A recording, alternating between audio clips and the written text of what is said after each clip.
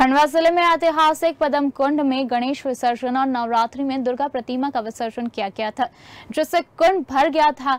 हालाँकि नगर निगम एवं जनप्रतिनिधियों द्वारा टेंडर जारी कर कुंड की साफ़ सफ़ाई कराई गई।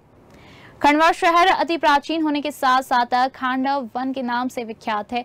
बारहवीं शताब्दी में चार कुंड बने थे, जिसमें से एक कुंड पदम कुंड है। धार्मिक मान्यता के अनुसार भगवान गणेश एवं माता की प्रतिमा का विसर्जन किया जाता है। सात साल बाद अब हो रही कुंड की सफ़ाई के दौरान सौ साल पुराना अस्सी किलो वजनी कछुए को बाहर निकाला गया।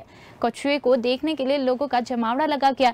लगाया गया था और पंडित नवीन शर्मा ने बताया कि 80 किलो वजनी इस कछुए को उठाने के लिए चार लोगों द्वारा द्वारा कुंड से बाहर निकाला गया था।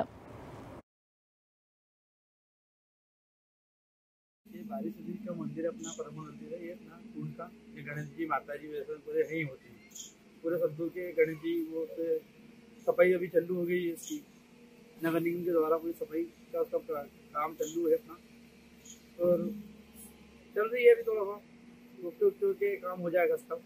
क्या इतिहास रहा है इसका? ये पांडव का टाइम का कुंड है ये सीता मैया को प्यास लगी थी, बोलते राम भगवान ने तीर मारा था कहा जाता है कि बारहवीं शताब्दी का है, पांडव द्वारा इसको बनाया गया था।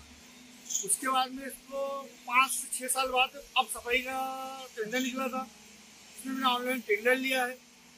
और इसके अभी तक के सत्रह अठारह डम्फर मैं मलबा निकाल के बाहर कर चुका हूँ। और अभी भी सत्रह अठारह डम्फर बाहर डंप किया हुआ है।